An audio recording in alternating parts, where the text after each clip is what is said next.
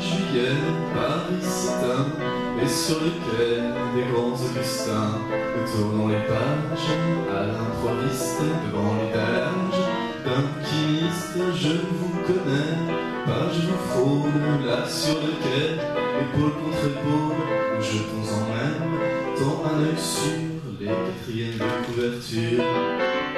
Une biographie de Signoret, voilà le genre de choses qui vous plaît. Un storyboard de Félix, le genre de truc qui vous fait briller la nuit. Je vous devine à Jean Lépin, ce presse-pocket entre les mains. Emportez-vous à Maison Lafitte, sous dérision en 10-18.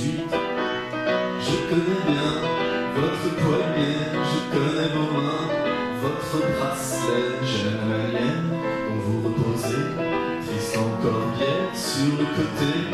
Qu'allez-vous donc penser de moi si j'attrape en rayon les années platini Finalement, je préfère me rabattre sur la grève de 54.